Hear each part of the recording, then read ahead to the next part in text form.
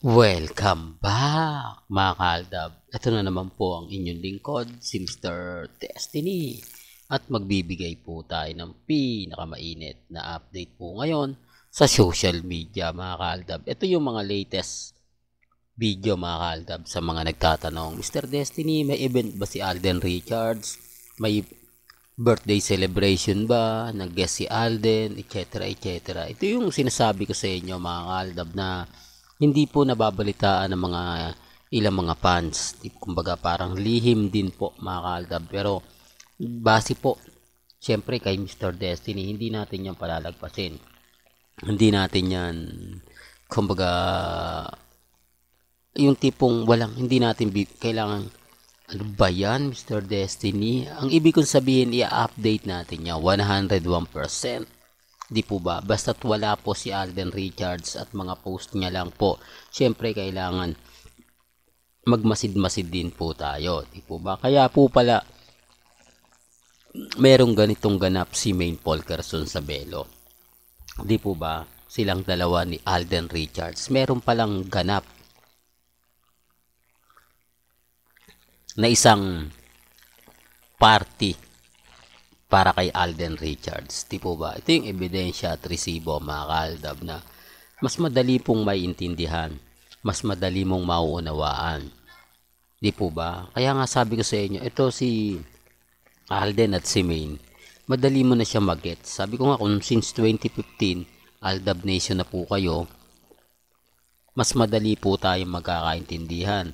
Mas madali po tayong, kumbaga, mag mapipick up mo yung mga sinasabi ko. Di po ba? Gaya nga po ngayon, nagparamdam sina Alden at Mengay sa Belo.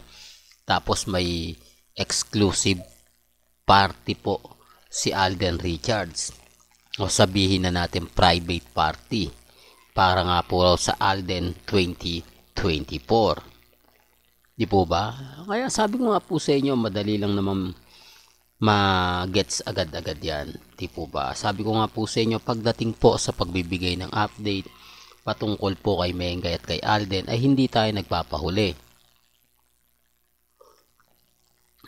Lalong-lalo na po pagdating sa Instagram, sa Twitter at sa Facebook.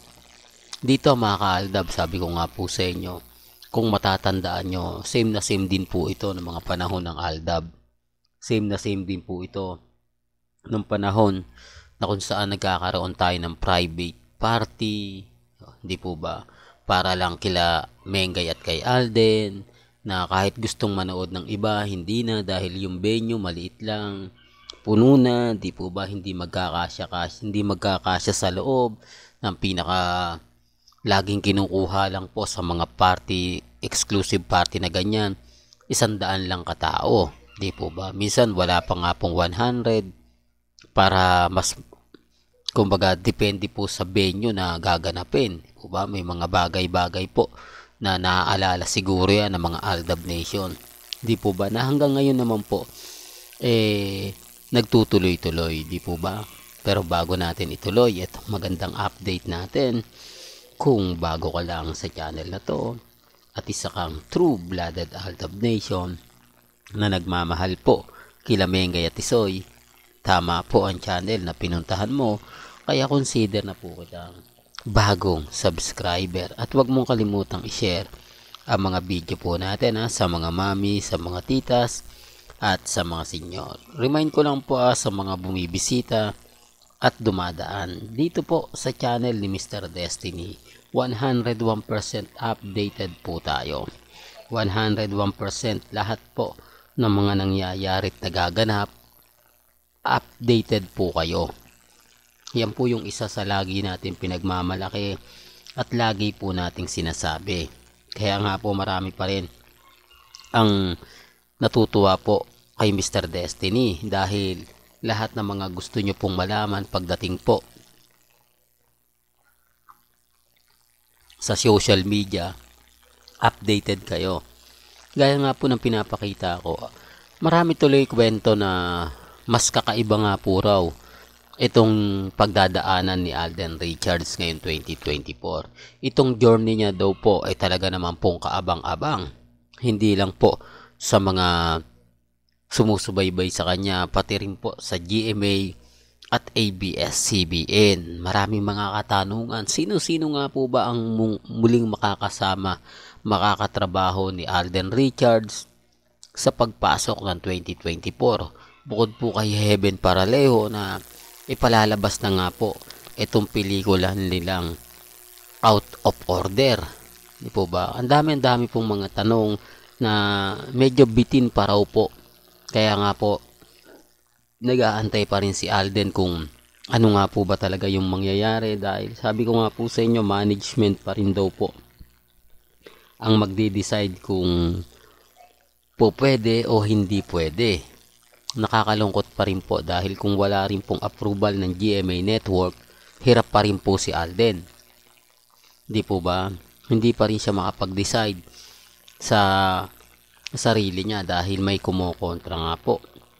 Pero marami naman po nagsasabi na kumbaga tignan na lang daw natin kung ano yung mangyayari, kung ano yung magaganap. May mga bagay-bagay din naman po na hindi naman po pwedeng lagi ang GMA ang magwawagi. Hindi naman po pwedeng ang GMA lagi ang kumbaga alam niyo na mga kaaldab. Sabi ko nga po sa inyo dito po sa social media, dito po sa Instagram, sa Twitter, sa Facebook, may kanya-kanya po tayong opinion may kanya-kanya tayong pananaw. At tama naman po yung sinasabi ng iba at komento ng iba. Di po ba? Tapos biglang magti-trending si Alden Richards. Di po ba? Biglang magti-trending si Mengay. Ang dami, ang dami pong mga komento. Pero gaya na sinabi natin mga kaldab, may mga bagay-bagay po na kayo na lang po bahala mag-react, kayo na lang po bahala mag-komento. Ang importante lang naman po mga kaldab, ay kung ano po yung latest, kung ano po yung trending, kung ano po yung pinag-uusapan. Dito po tayo sa mga mami, sa mga titas, sa mga senyor na nagtatanong lagi na Mr. Destiny, kailan kailan ba matatapos ang sarswela? Matatapos pa ba? Tapos na po ang sarswela sa mga pansin nyo po yung mga ina-update ngayon, wala na. Speaking of update, yung mga armin po, lahat ng mga post nila, repost lang po yun, walang latest doon. Ginagamit po nila si MJ ngayon para magingay. Ginagamit nila yung mga post na matagal na. Di po ba? Sabi ko nga po sa inyo, kapag sila mag-post okay lang. Kapag sila magbigay ng update, kahit sabihin na natin na matagal na yon okay lang. Hindi mo pwedeng basagin, hindi mo pwedeng sabihin matagal na. Kaya yung iba naniniwala na latest yon Yung iba nagtatanong na, kaya may post naman eh. Pero kung titignan nyo at susuriin, matagal na po yun. Ayaw lang po nilang sabihin na hindi matagal na yan. Po ba?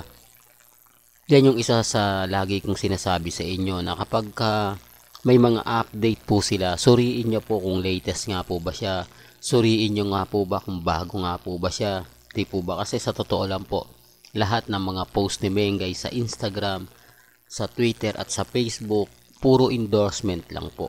Wala siyang post na kakaiba, wala siyang update na masasabi mo na galing po mismo sa kaganapan nila ni congressman. Kaya nga po yung Eat Bulaga ngayon, ramdam mo yung presensya nila. Ramdam mo na kumbaga dumidistansya na rin sila. Natut natutuwa rin po tayo dahil sa mga aktual po pwede na mong kumbaga basagin si Mengay na ikaw main, kailan, kay ka, kailan ka ba kayo magkakanap? Wala pa kayong bala? Matatanda na kayo? Yung tipong gano'n na sasabihin ni Jose Manalo, di po ba? Yung biro lang pero may laman. Yung biro lang na di, di real talk to mga kaaldab. Di po ba? Kasi ilang taon na si Mengay, ilan mas ilang taon na rin si Congressman Arjo, di po ba? Sinasabi ko lang po ito para lang po malinawan ng iba. Bakit nga po ba wala mga biro? Bakit nga po ba hindi binibiro? Doon pala mapapaisip na kayo eh. Di po ba? Simula po pagpasok ng July, lalo na po ng September. Pero gaya na sinabi ko, may kanya-kanya tayong pananaw at opinion. Well, hanggang dito na lang po ang ating latest updates. Kaya kung gusto nyo pa po ng pinaka-latest at sariwang update. Abay, tutok lang po kayo dito po sa channel ni Mr. Destiny para updated po kayo sa mga latest at sa mga bagong video po na ilalabas po natin maya maya lang. Hanggang sa muli, salamat po sa panonood at pakikinig.